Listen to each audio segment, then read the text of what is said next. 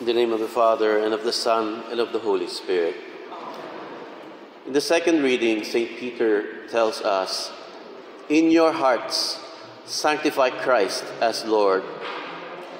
What did Peter mean by this? How can we sanctify Christ when he is already the all holy God? To understand this, we take the traditional meaning of holy or being holy, which is to separate something or someone for God. What St. Peter meant is for us to set Jesus apart from all other things in our hearts and make him the Lord of our lives. The first reading shows us what happens when we make Jesus the Lord of our lives. Philip the deacon went to Samaria and preached Christ, and the effect is that the demons were driven out, paralyzed, and the lame are cured. These are physical signs of a spiritual reality that evil loses its hold on people and souls that are paralyzed by sin are set free.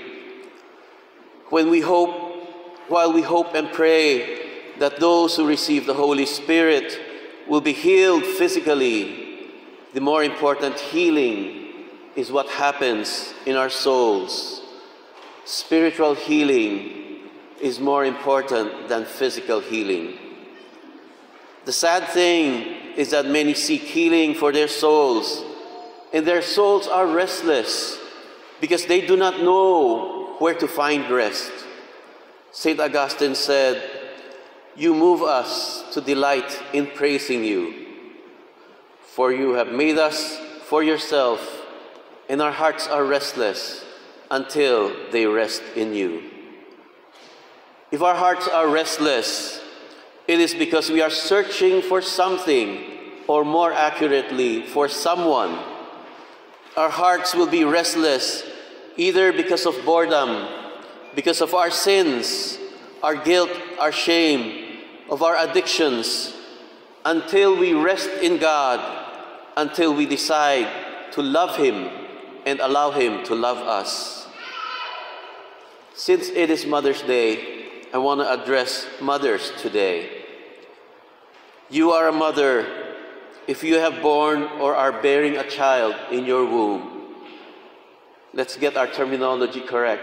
If you are pregnant, you are not a mother to be, you are already a mother.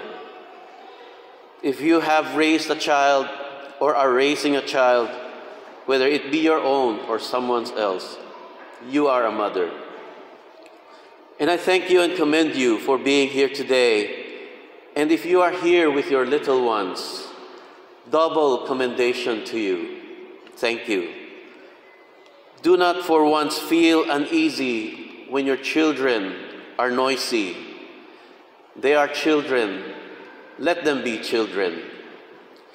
Ignore the uncharitable stares of people.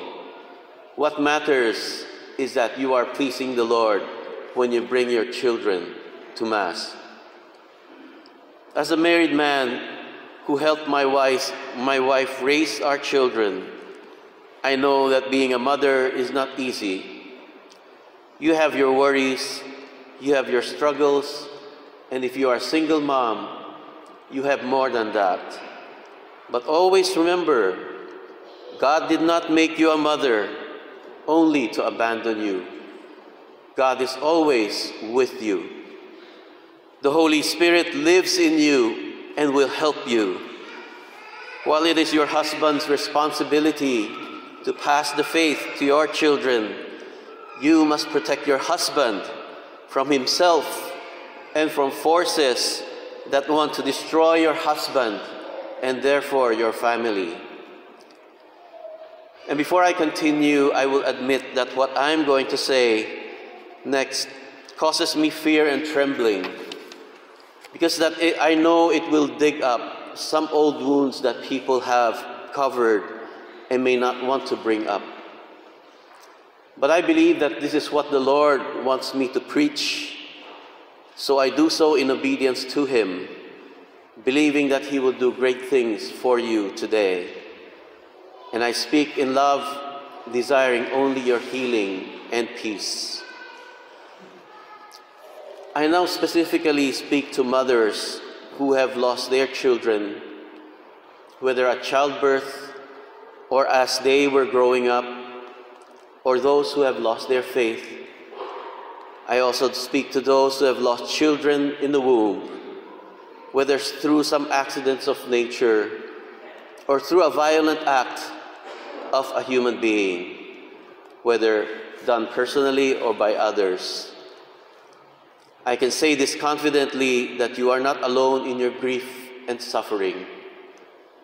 No human being can know what you are going through, but God knows what you have been through and what you are going through. And He tells you now at this Mass not to be afraid to approach Him. You or people may blame you or condemn you for what happened. But God does not see you as a woman to condemn. He sees you as a daughter who is hurt and broken, who desperately needs healing, peace, and the unconditional love that only He can bring. The Son of God proved this by dying on the cross for you so He can raise you up in glory.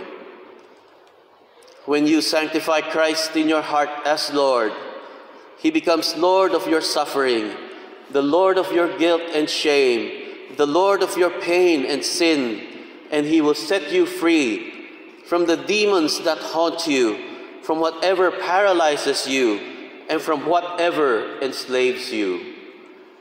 Jesus is our only Savior.